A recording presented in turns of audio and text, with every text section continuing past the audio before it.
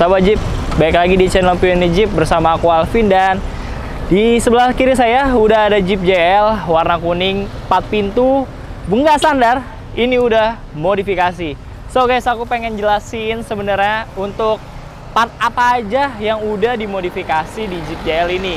Tapi sebelum kita lanjut ke videonya, jangan lupa di like, comment, subscribe, dan juga di share ke teman-teman kalian. Apalagi teman-teman kalian yang punya Jeep JL tapi masih standar. Atau nih, kalian baru banget mau beli Jeep JL. So guys, ini dia videonya. Tonton terus sampai habis, jangan di skip karena ada part-part penting yang wajib kalian punya nih. Oke, let's go. Oke, sahabat Jeep. Jadi ini sebenarnya ini adalah video lanjutan dari rekomendasi modifikasi untuk Jeep JL. Kalau yang kemarin kan yang uh, entry level nih. Nah, buat kalian yang belum nonton videonya, kalian bisa klik link di atas ini. Oke, nah misalkan kalian udah nonton videonya, kalian boleh lanjutin video ini. Atau kalau mau lanjutin dulu ini, baru nonton yang tadi, itu juga bisa. Oke guys, jadi aku mau jelasin untuk bagian yang pertama nih. Jadi untuk eksterior pertama yang ditambahkan di mobil ini kan yang paling banget kelihatan itu adalah bumper. Nah guys, ini dia bumper khusus Jeep JL. Mereknya itu Westin.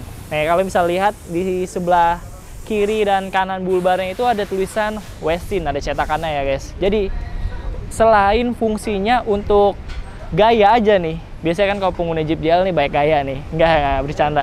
Jadi ini untuk melindungi bagian depan pada saat amit-amit nih kalian terjadi kecelakaan. Itu kan mengurangi benturan banget. Atau satu lagi nih sahabat Jeep, gunanya pada saat kalian pakai di dalam hutan. Jadi pada saat kalian nerobos-nerobos kayak ranting-ranting atau pohon-pohon kecil, nah ini sangat ngebantu banget. Apalagi sahabat Jeep, pada saat kalian pakai di keadaan off-road nih, kan misalkan kalian tanjakan tuh kalian butuh yang namanya depannya tuh biar tetap gigit. Nah, bumper ini dengan bobotnya yang sekian, nah nanti aku akan kasih tahu bobotnya berapa. Jadi yang ngebantu banget biar si kaki-kaki Jeep ini tetap jejak ke tanah. Tuh, jadi selain itu fungsinya kayak gitu sahabat Jeep. Nah, dia juga mempunyai keunggulan nih sahabat Jeep. Selain itu dia juga ada tanduk di sini di depan. Nah, kalian juga bisa tambahkan yang namanya daring untuk di bagian depannya nih. Untuk narik pada saat dibutuhkan. Terus dia juga sudah winchable. Jadi dia tersedia slot untuk winch nih sahabat Jeep. Kalau mobil ini sekarang dia pakai winch dari Warren VR Evo yang 12. Ini tipenya dia yang steel, yang besi. Terus kalau kalian lihat juga nanti di sebelah sini tuh sebenarnya ada slot untuk LED bar. Itu sekitar 20 inch. Tapi kan karena dia taruh plat nomor di atas, jadi ditutupin kayak gitu sahabat Jeep. Terus juga udah dapat yang namanya fog lamp di bagian kiri dan juga kanan. Nah kita intip ke bawah sedikit.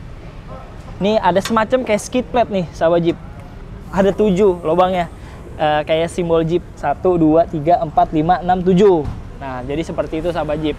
Di di depannya juga ya tersedia untuk winch mount bracketnya kan, untuk dudukan winchnya.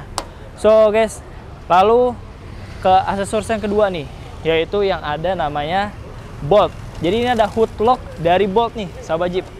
Fungsinya yang pasti untuk melindungi apa aja yang ada di dalam kap mesin kalian. Nah, biasanya kalau mobil Jeep itu kan identik dengan pembukaan kap mesin yang sangat mudah banget. Dia cuma buka slot ininya aja.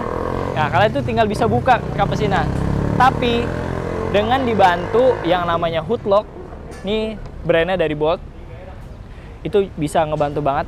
Dan tingkat safety dari Jeep kalian itu bertambah. Kita beranjak dikit ke atas nih. Oke, sahabat Jeep, tadi kan bagian depan udah, sekarang kita agak naik sedikit nih. Ini ada lampu rigid radiance spot.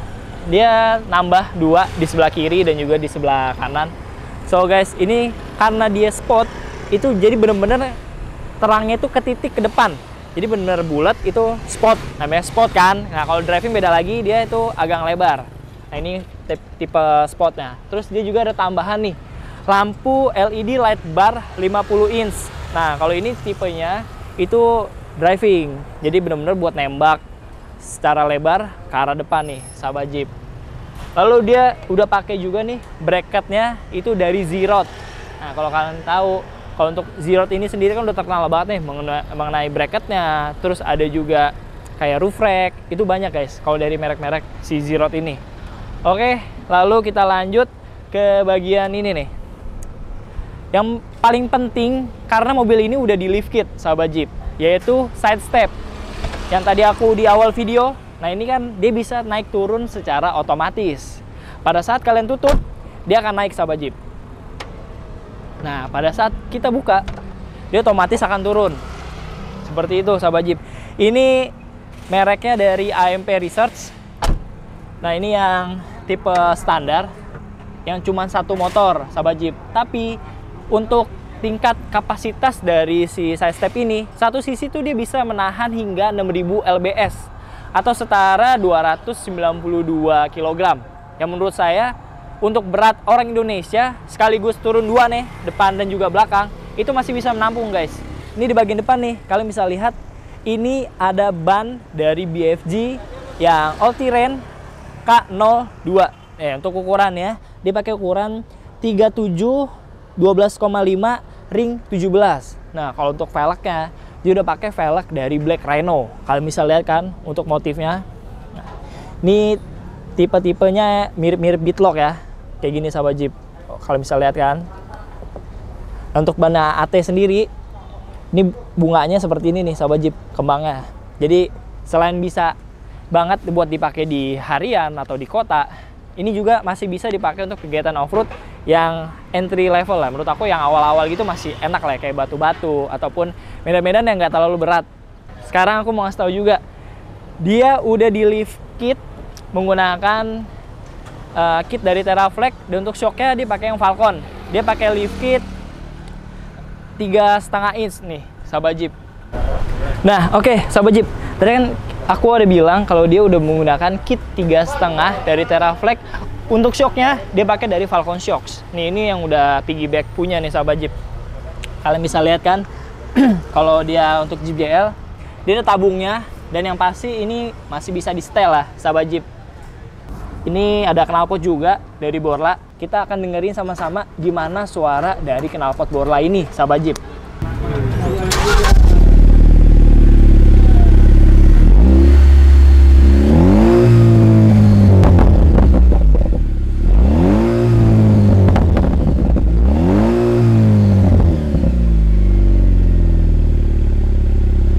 guys untuk bumper depan itu kan dia pakai wesin dan yang pasti untuk bagian belakangnya dia pakai wesin juga dong. Nah kalian bisa lihat dia juga ada dapat LED 3 inch. Ini di bagian ada lubangnya di sini satu dan juga sini ada dua. Nah untuk hanger sendiri sahabat Jeep. Jadi udah satu paket bumper depan bumper belakang dan juga ada hangernya. So guys kalian bisa lihat di sini ada motifnya kan? Ada W nah, ada tanda ini Nah, tire hanger sendiri itu bisa menahan beban ban dan velg hingga ukuran 37 inch nih sahabat Jeep. Kayak ini kan, dia udah pakai BFG, bannya 37 12,5, ring 17, AT K02. Untuk yang salah-yang salah, itu dia masih nyaman. Kalau bisa lihat nanti yang salah-salah, ini benar-benar lurus sahabat Jeep. Sekarang kita akan lanjut ke bagian yang penting nih, yang aku bilang di awal video, yaitu di bagian mesinnya dia udah pakai apa nih partnya sehingga tarikannya itu lebih enak daripada yang standar ini dia yuk kita ke depan Oke, sahabat Jeep. Jadi aku akan kasih tahu nih rahasia dari Jeep GL ini kenapa tarikannya bisa enak, kenapa tarikannya bisa langsung jos pada saat kalian injak pedal gasnya. So guys, ini aku akan buka. Dia udah pakai bolt. Seperti yang aku bilang, itu bisa mengamankan apa aja yang ada di dalam kap mesin kalian.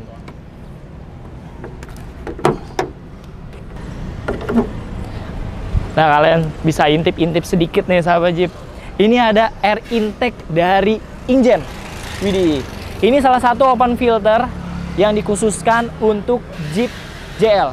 Jadi guys, untuk brand Ingen sendiri, ini udah terkenal banget di dunia otomotif khususnya ya. Untuk bagian exhaust juga dia terkenal. Terus di bagian intake juga, dia salah satu rekomendasi dari Pioneer Jeep untuk Jeep JL kalian. Kalau kalian belum tahu itu apa fungsi-fungsinya, kalian nanti bisa nonton juga nih. Kita udah pernah review full mengenai intake air intake ini. Nah, kalian bisa lihat aja videonya di sini ya. Oke, mungkin aku akan jelasin sedikit aja, singkat. Jadi gini sahabat Jeep, keuntungan dari kalian memakai ini adalah selain bahan bakar yang lebih irit, nah filternya sendiri itu nggak perlu kalian ganti. Caranya gampang banget buat ngebersihinnya. Kalian buka aja, kalian copot, tinggal semprot pakai angin, kalian bersihin debu-debunya. Nah, lalu kita taruh lagi, selesai. Jadi kita nggak perlu keluar biaya mahal untuk mengganti air filternya. So guys, aku rasa itu aja sih untuk video singkat mengenai modifikasi Jeep JL yang menurut aku bukan entry level lagi, tapi udah ke next level karena dia udah di full modifikasi dari bagian mesin, bagian bumper juga eksterior. Kalau interior uh, dia nggak banyak berubah sahabat Jeep, masih sama gitu. Jadi untuk kaki-kakinya apalagi nih sahabat Jeep, kan dia udah pakai kit dari Teraflex tiga setengah inch yang menurut aku ini udah capable banget buat teman-teman pakai di kegiatan off-road. Apalagi tambah dengan ban dari BFG yang AT, velgnya juga udah beadlock, Nah, bumper udah oke, okay, tenaga dapat. Nah, sebenarnya ini mobil udah bisa banget dipakai kegiatan off-road yang next level. Jadi nggak cuma di entry level, kalian bisa ke arah mid ya, yang mungkin yang berat-berat gitu sahabat Jeep. Ini mobil udah bisa ngelibas off-road itu. Oke, untuk bagian suspensi dan kaki-kakinya nanti aku akan jelasin di next video ya. Oke deh sahabat Jeep, itu dia videonya. Terima kasih banget. Jangan lupa di-share ke teman-teman kalian dan satu lagi nih, kalau kalian mau tanya-tanya mengenai part ini, bisa banget kalian langsung DM Instagram atau kontak WA sales kita. Dan kalau kalian mau cari-cari sendiri, itu kita tersedia juga nih, ada di marketplace, kita ada di Tokopedia, ada di Blibli, ada di Bukalapak, itu udah official. Dan yang terakhir, kita ada di Shopee. So guys, itu aja. Atau kalian pengen mau masang aja nih di rumah kalian masing-masing. Kalian mager nih buat keluar, itu bisa kita ada program yang namanya home service. Jadi nanti teknisi kita bakal ke tempat kalian untuk melakukan pemasangan. Apa aja? Kalian tinggal chat-chatan aja sama sales kita, waktunya kapan, apa aja yang diganti, tinggal chat sales kita. Nanti kita akan terbang ke tempat kalian. So guys, thank you buat nonton videonya. Sampai jumpa di video berikutnya. Dadah.